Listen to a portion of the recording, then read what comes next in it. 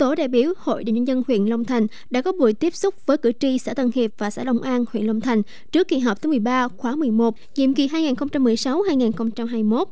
Phát huy tinh thần dân chủ, các cử tri đã nêu lên một số ý kiến xoay quanh các vấn đề như một số kênh mương không được nạo vét thường xuyên, gây ngập nước vào nhà dân.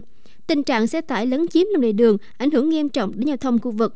Việc chuyển mục đích sử dụng đất còn chậm trễ, trên địa bàn một số ấp vẫn chưa có trụ điện, ảnh hưởng đến đời sống sinh hoạt của bà con. Công tác cấp đổi số nhà mới chưa đồng bộ. Đặc biệt là tình trạng các nhà mạng kéo thả dây điện chằng chịt gây mất an toàn cho nhân dân nhưng chưa được xử lý. Cùng với đó, tình hình an ninh trật tự, tệ nạn xã hội trên địa bàn các ấp còn phức tạp, số lượng người nghiện ma túy có xu hướng tăng. Với những vấn đề cử tri nêu, đại biểu Hội đồng nhân huyện Long Thành đã tiếp thu và giải trình các ý kiến kiến nghị của bà con cử tri.